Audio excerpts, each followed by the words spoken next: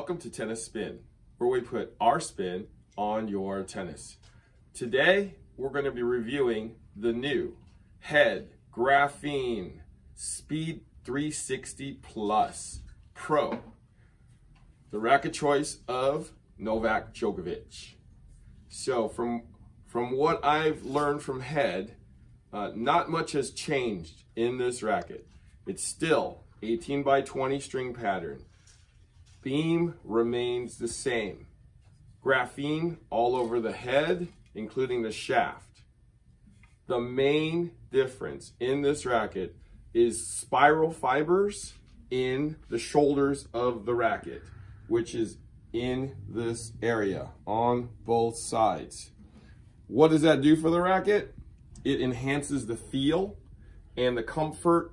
So when we hit this frame, it was very reactive. We actually thought it was more powerful. Uh, after talking ahead, they're like there was no more power added to this racket.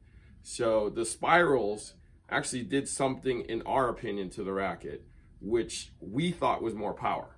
So, but maybe because it's a new racket and it's nice and firm right now, is why we felt that way. But when we struck the ball, the ball took off way faster than the old version of this racket.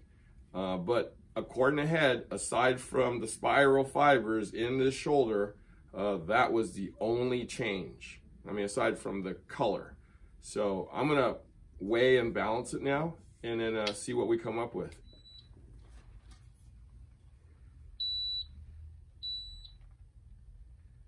Okay, total weight strung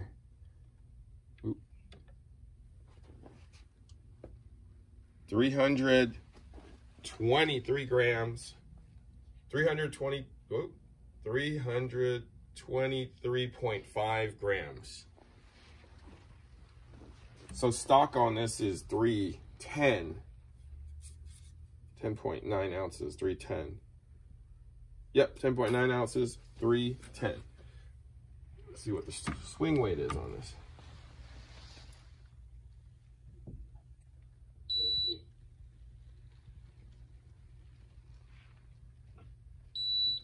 326 on the swing weight.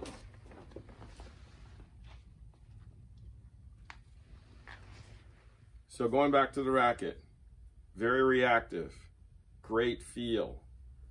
We thought there was a lot of power compared to the old one. But like I said, it could be because it's new. Um, I would definitely recommend trying this if you are a fan of a Speed Pro. Thank you for watching. Tennis Spin, where we put our spin on your tennis.